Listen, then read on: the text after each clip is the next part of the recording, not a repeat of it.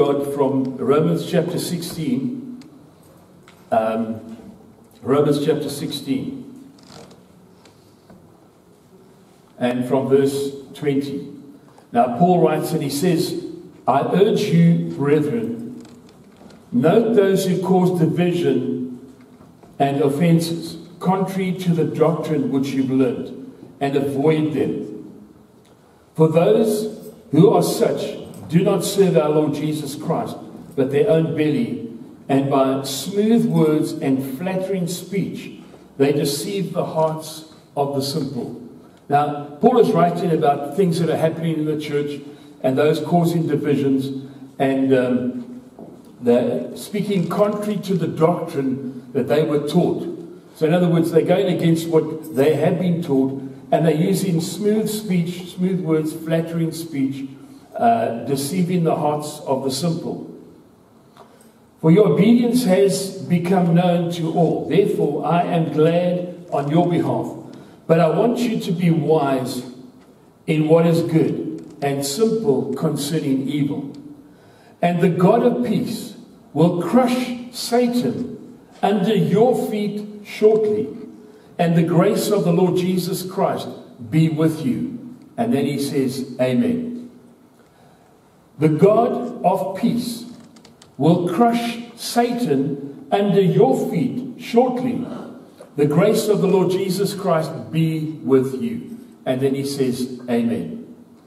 Now, when I first read that scripture years ago, I thought that God was going to do everything. He's going to crush Satan. I don't have to worry about anything. He's going to do all the work. I just have to say, Lord, deal with this issue, and then I'm okay. Well, we found that the Apostle Paul, when he prayed and said, Lord, can you remove this messenger of Satan that's bugging me?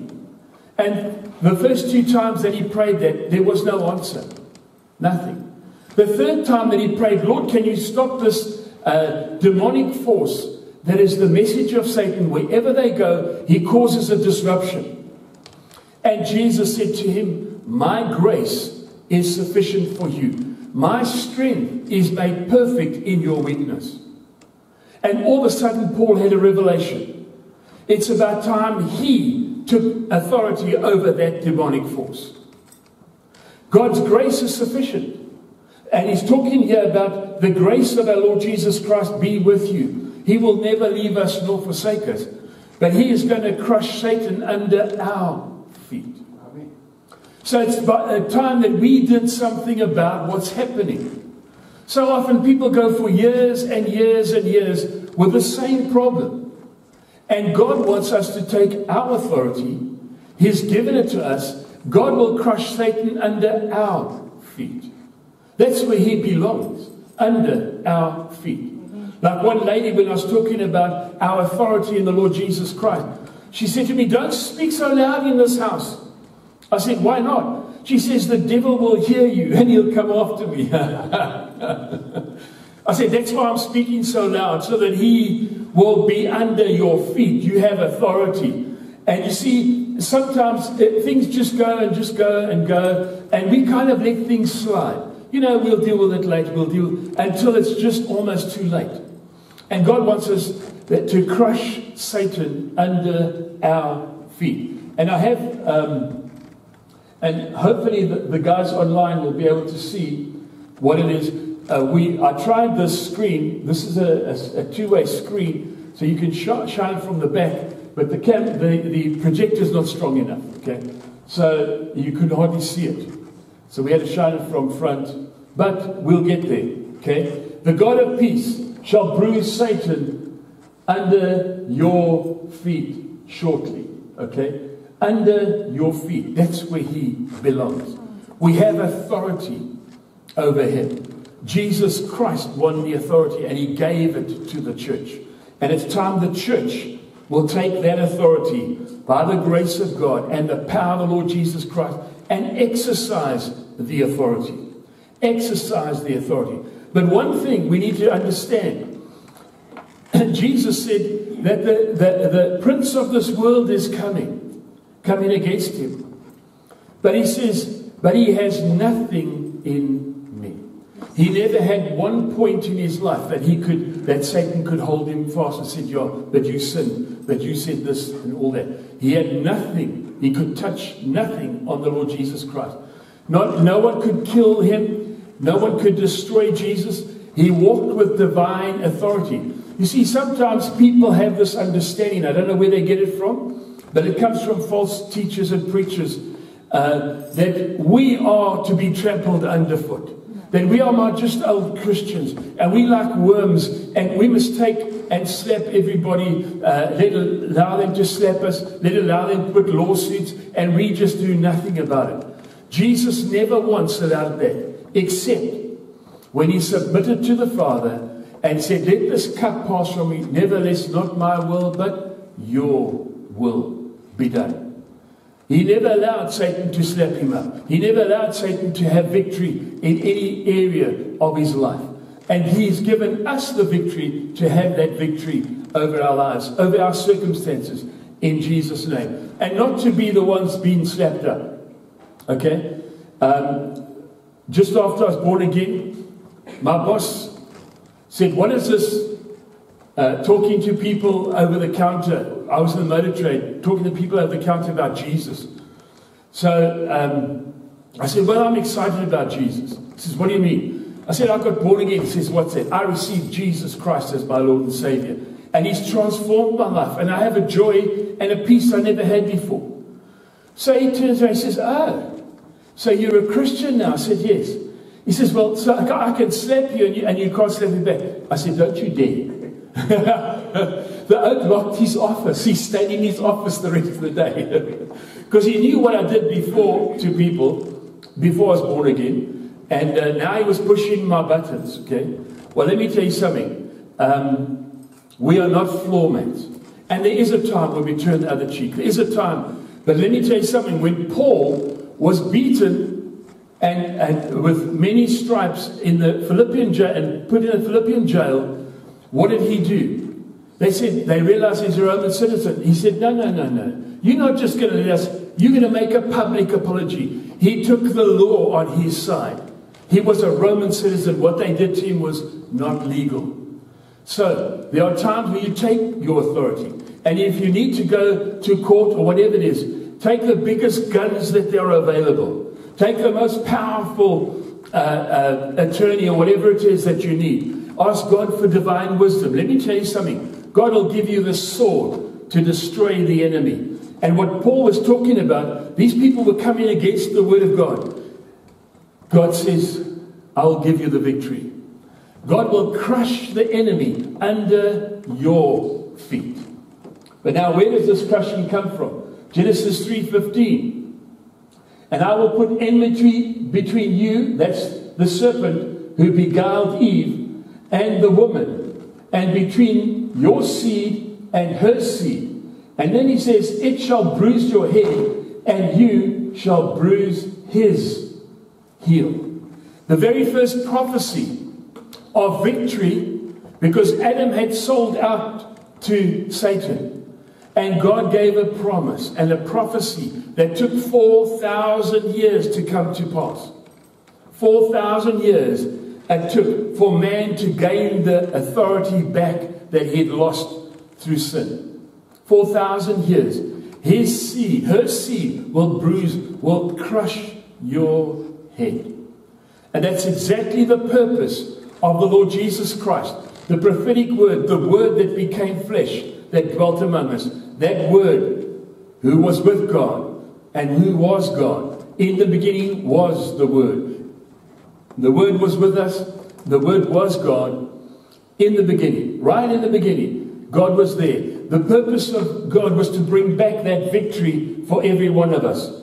And we'll crush his heel. Victory over everything that Satan has performed and done, over all his works.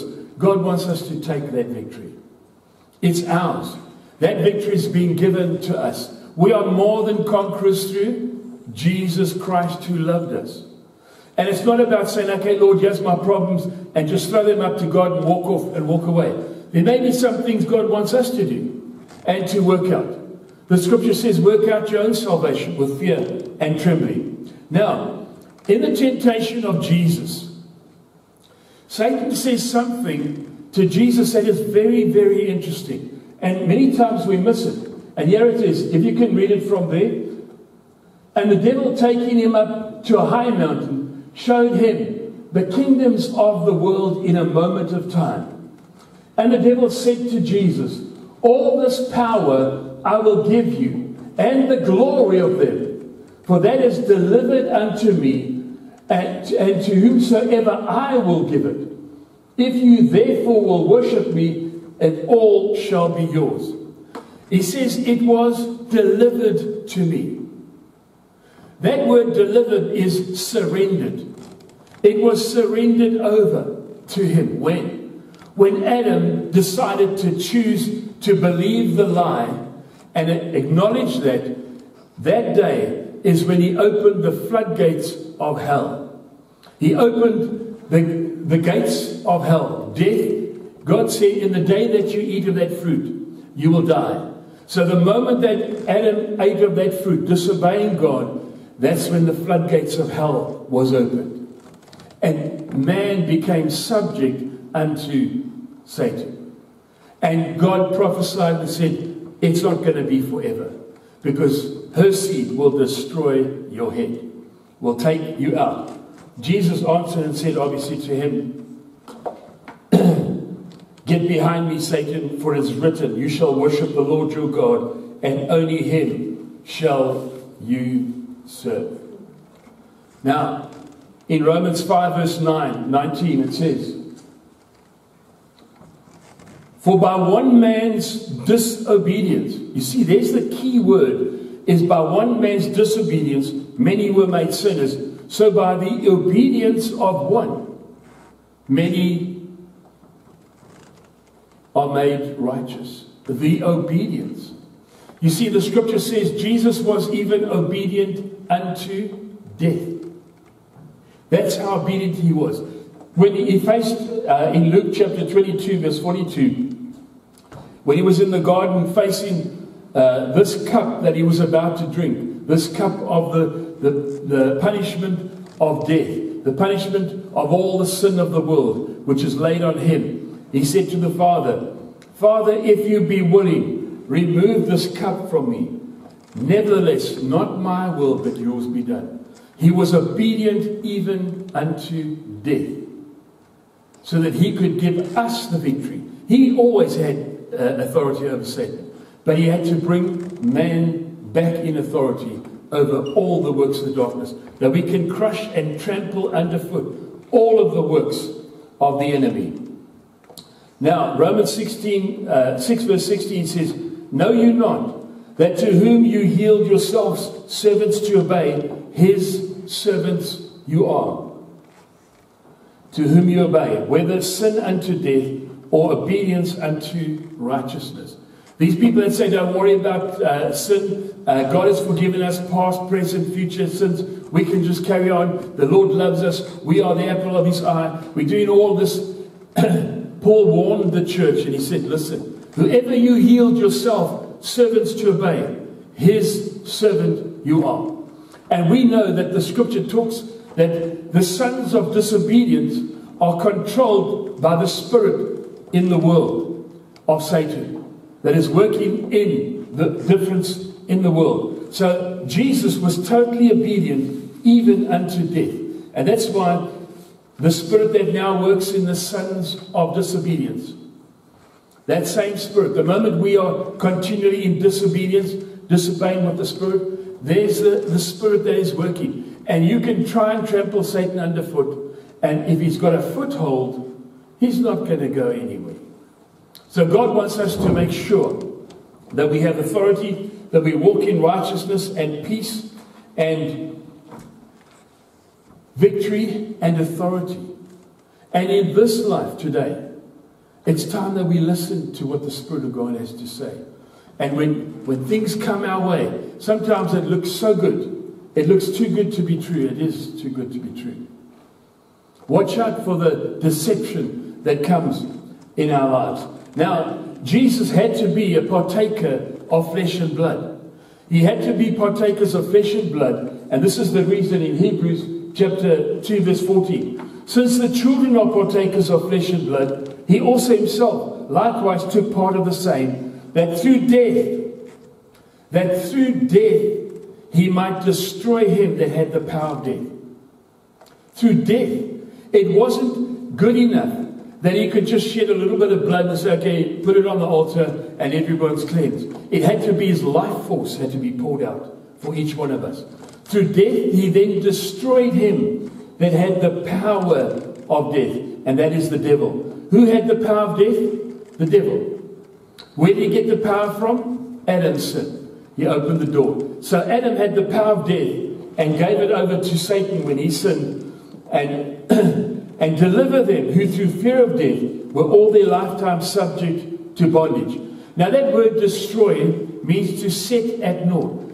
Jesus Christ has set Satan's authority at naught, at zero, against each one of us. That's what the scripture says. But you see, if we don't understand it, if we don't know that we have authority over the works of darkness, then we're just going to accept it. I heard uh, um, a lady saying the other day, Oh, all these things that God puts on us, all this tribulation, all this persecution makes us better people. Well, I can't see that in Scripture. But I know that Jesus said, You will face tribulation in this life, but be of good cheer. I have overcome the world. So we need a, a renewing of our minds to understand who we are, what we have in Christ Jesus, the victory that He's given, and then He gave it to us. He gave us the keys of the kingdom. Whatsoever we bind on earth will be bound in heaven. Whatsoever we loose on earth will be loosed in heaven. So we have the authority, but if we are not going to bind the things on earth, it's not going to happen. God is going to crush Satan under our feet when we take our authority and say, That's enough. That is enough right now. Father, give me divine wisdom what to do in this circumstance. To stand up for who we are in Christ Jesus and not allow these things to happen. Not allow poverty, sickness, death to come about. We have been given authority over the power of Satan, destroy his works, set him at naught. Death and sin shall not have dominion over us. The sting of death is gone. There is, we will all die. Okay, we will all die unless the rapture happens, we will die. But you know what? The sting is gone. The fear of death is gone because we know where we're going. And if we don't know where we're going, we need to make sure and have confidence in the Lord Jesus Christ, on, in the completed work and what he's done. So Satan's going to, uh, God is going to bruise Satan under your feet. So let's take that authority and do it. The ministry of the Apostle Paul was it can be summed up very, very much in one scripture or one word that God gave to Paul, and that is this word. In Acts chapter 26, verse 18, the ministry was given to Paul to go to the Gentiles to open their eyes and to turn them from darkness to light. To turn them from darkness to light and to turn them from the power of Satan to God. To turn them from the, that word power is authority. He has authority over everyone that is in darkness, over everyone that has not received Jesus Christ as Lord and Savior. But he does have no authority over any believer in Jesus Christ. You see, John, uh, the Apostle John wrote, and he said that he that is born of God sins not. And it says, and the wicked one touches him not. He that is born of God. The wicked, so how come he's touching people's lives? Because we've allowed things to happen in our lives. We've done things contrary to Scripture and allowed things to happen in our lives because of a lack of knowledge. We don't know everything, but as we come to know the truth and as we come to know the, the authority that we have in Christ, it's time to trample Satan underfoot and say, That's enough. No more. That's enough right now, in Jesus' name. And He's delivered us from the power, or to turn from the power of darkness to the light and from the power of Satan to God, that they may receive forgiveness of sins and an inheritance among them which are sanctified by faith that is in me.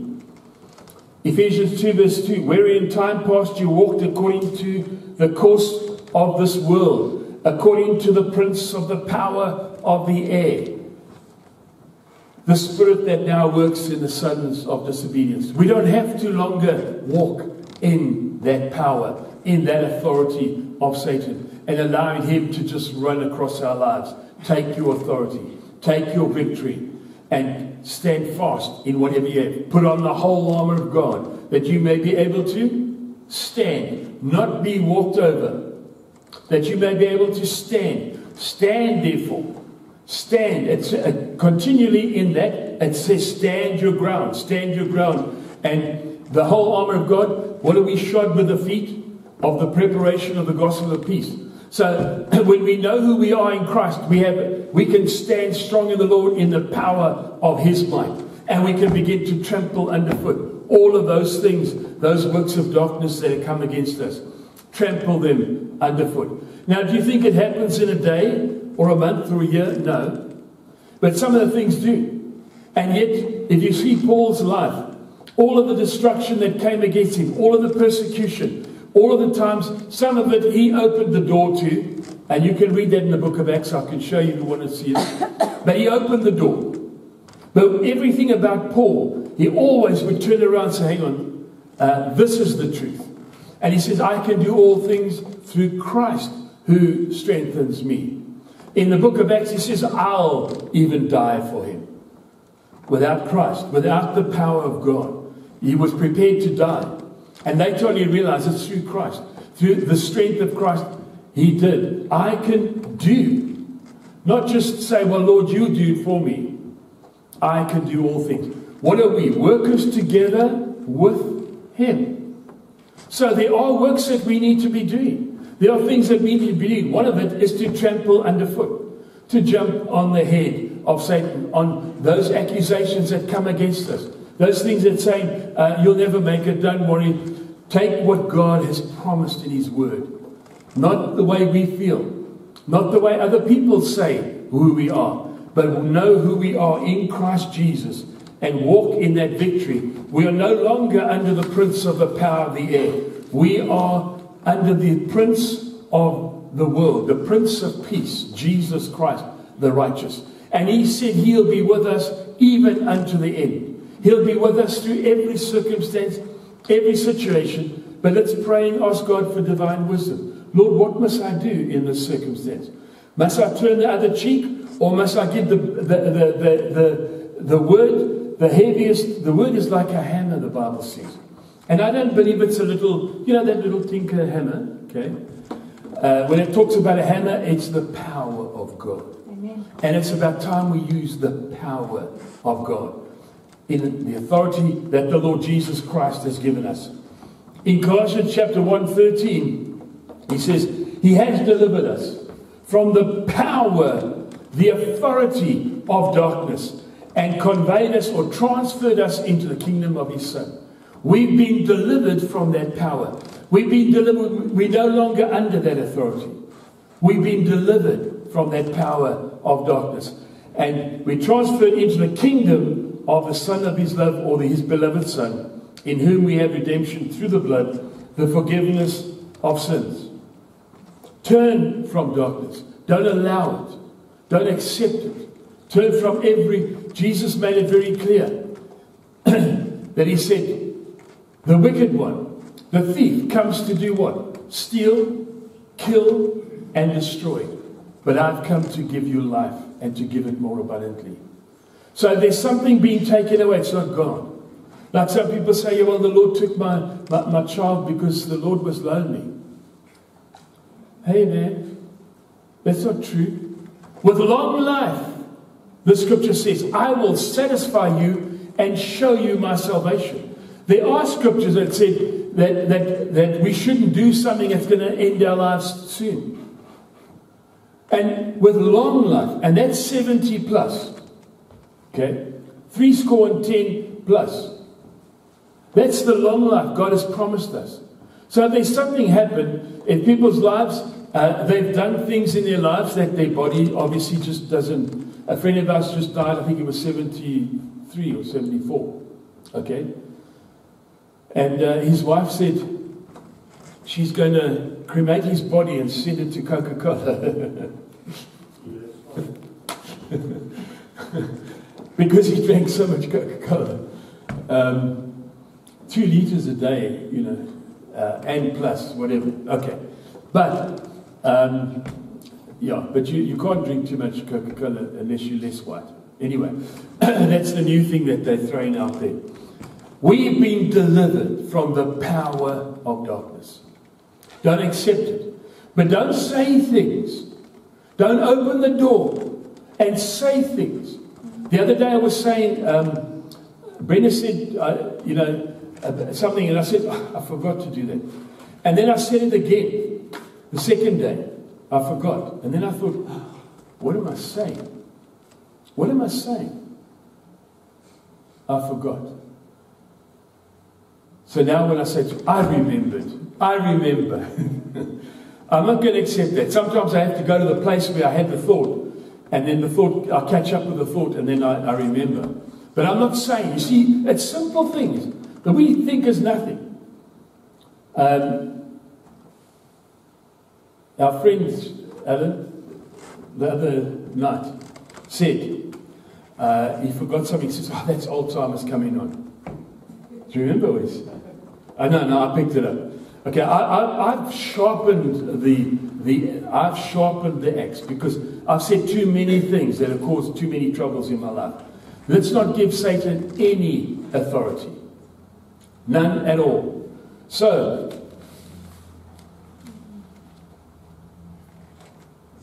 in 1 Corinthians 2, verse 8, it says, None of the princes of this world knew, for had they known it, they would not have crucified the Lord of glory. They didn't know that through death he destroyed him that had the power of death. They didn't know. In fact, next week I'm going, to, uh, I'm going to share on the strategy that Jesus used. And he told the strategy in the word. He spoke it, and Satan never saw it. Satan didn't know. Didn't know what he was doing. And he spoke it out. In 1 Corinthians 2, verse 6, it says, Howbeit, we speak the wisdom among them that are perfect, yet not the wisdom of this world, nor the princes of this world that come to naught. That's 1 Corinthians 2, verse 6. And that's how they're supposed to be in our lives. Zero. Having zero authority having zero impact in our lives. Paul came to a point in his life and he said, The Lord has delivered me out of all of my tribulations. And it's when we come to know the victory that we have in Christ and we stand firm, stand on the word, regardless of we see it happening or not. Take the word of God and stand, having done all, stand. Stand on what the scripture says. Have that feet shod with the preparation of the gospel of peace. In 1 John 3, verse 8, it says, He who sins is of the devil, for the devil has sinned from the beginning. For this purpose, the Son of God was manifest to destroy the works of the devil. Why? Because he needed to destroy them? No, because he wanted to transfer the victory to us. That we can stand in the full. We're going to read the word of victory. More than conquerors through Jesus Christ, who loved us and gave himself for us. Destroy means to, he spoke about loosen. Loosen the captive. Set the captives free from that bondage. Remember when Jesus came to the, the lady that had uh, was bent over, buckled, she could not straighten up for 18 years. Jesus turned to her on a Sabbath day, nochal, and caused a whole big stir. But he said to her, Woman, you are loosed of your infirmity. She had a spirit of infirmity, a demonic force that kept her in bondage. And he said, You're loosed. That's the same word that he might destroy the works of the devil. Loose us from the, the works of the devil. That we take our authority against what Jesus has done against the works of darkness, against Satan. Women, you are loosed from your infirmity. And when they complained at the Sabbath day, he said to them uh, in verse 16, Luke 13, Ought not this woman, being a daughter of Abraham, whom Satan has bound, Who bound her? Satan bound her. Not whom God wanted to prove something, whom Satan has bound. See, these 18 years be loosed from this bondage or from this bond on the Sabbath day. And then they were ashamed about it. God wants us loosed, loosed from every work of darkness. And then we go through and look at what's in our lives that um, what has been holding us captive, what has been hindering us through our lives poverty, sickness. Uh, he came to steal, kill, and destroy, to wipe out our lives, to wipe out families, to cause division. All of these things. We have authority over those works of darkness. Jesus said, Behold, I give unto you authority to tread on serpents and scorpions and over all the power of the enemy, and nothing shall by any means hurt you. Serpents and scorpions is the messengers of Satan that come against us, things that, that try and attack us, whatever. And you know what the scripture says? For the, for the spirit of heaviness, what are you supposed to do? Go and hover and crawl and plead, God deliver me, God deliver me, help me. What does the scripture say we should do? Put on the garment of praise for the spirit of heaviness. So, and you don't just, oh, praise the Lord, hallelujah. Hallelujah. Jesus is Lord, King of kings and Lord of lords. And all the time that you're doing that, you, and you're dancing, even though you don't want to do it, you're doing something powerful and you're dancing before the Lord. You're trampling that thing underfoot. That thing that Satan comes against you with, that thing that Satan brings to, to hold you captive, that wants to bind you and says, Oh, you've never made it. that very thing is what you're standing on and saying, Thank you, Jesus. Glory to God. And when Paul and Silas, even though they were miserable, after being beaten, their backs were bleeding, at midnight, they sang, they prayed and sang praises. And then they got the beat. And I think the Lord got the beat too. And then there was an earthquake. And God delivered them. You see, don't accept. God will uh, bruise Satan under your head. Don't accept Satan's uh, bringing defeat, bringing destruction against our lives. We are more than conquerors through Jesus Christ who loved us. So let God give you wisdom. Lord, what must I do in this circumstance? What must I do against poverty? What must I do against sickness? What must I do in this? Lord, thank you. I believe and receive the victory through Jesus Christ. And then begin to worship and praise God and trample that underfoot. And every time Satan brings it, begin to dance, hallelujah, praise the Lord. There was a guy that phoned me up and said, Listen, if you want to see me, I'm in hospital. I said, uh, uh, How come you're in hospital? He says, Well, um, uh, I want to be delivered from, from alcohol. And, um, you know, and so I booked myself in. So I got to the door and I saw his name, and, and then I heard this bouncing, bouncing around inside. And yeah, he was, and he had the DTs. His body was shaking. So what he did is he just used that action to trample underfoot, and he just said, "Hallelujah, praise the Lord, Jesus is Lord." And they all thought he was crazy. The nurse walks past, and he's just going. They said, "Oh, he's got the DTs," but this oak is just praising God and victory. And that was, I think, uh, about forty, almost forty years ago. He's still delivered. He's still set free. He still rejoices in the Lord because he was delivered completely by the grace of God. Took the victory. Jesus gave us the victory. Let's take it. Take the victory.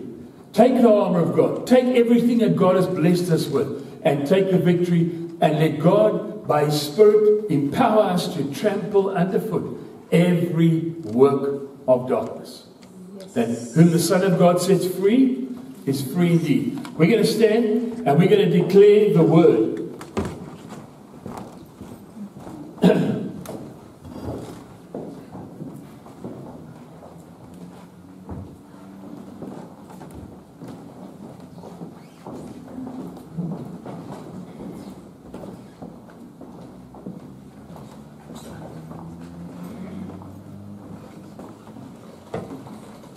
Hallelujah.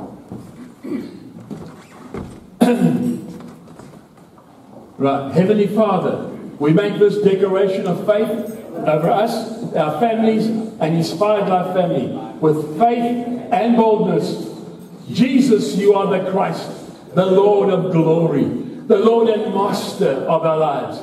You are the Alpha and Omega, the beginning and the end, which is, which was, and is to come, the Almighty. You are the same yesterday, today, and forever.